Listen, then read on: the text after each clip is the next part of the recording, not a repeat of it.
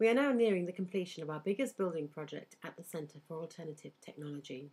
The Wales Institute for Sustainable Education, or WISE, is a new place for people to learn about sustainability and to train in the skills we will need to tackle problems like climate change. The building will be home to courses on renewable energy, green building, ecology, and woodland skills.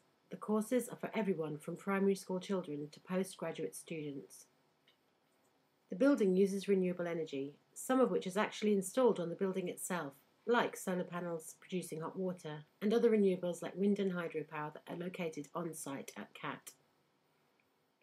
The building uses new green building methods. The internal walls are made from compacted earth, the structure in wood, external walls are made out of hemp and lime. The whole building is insulated to the highest possible standards. WISE has places for people to learn and stay. It has lecture rooms, workshops, and laboratories.